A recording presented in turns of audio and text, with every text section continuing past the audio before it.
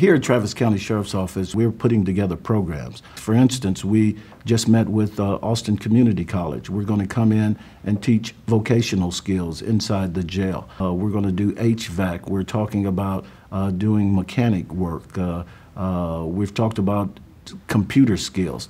Uh, we do have volunteers that come in and help out with the GED. We have yoga classes, and oftentimes people think that we're putting these classes together to to uh, encourage these uh, individuals to continue to come back to jail. But they are way away from being correct on that. We're trying to help these individuals go back out into the community.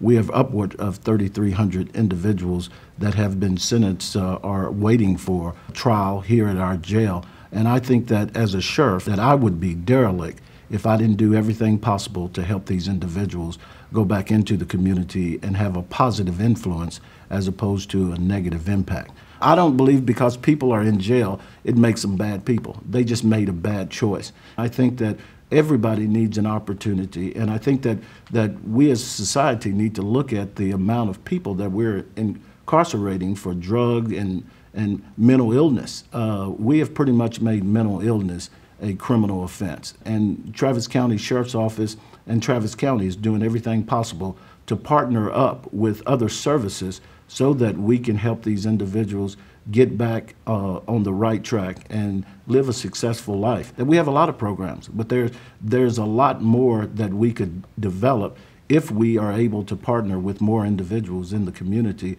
to help us bring these, these uh, uh, new programs to Travis County. When we do so, we will make our community a safer place.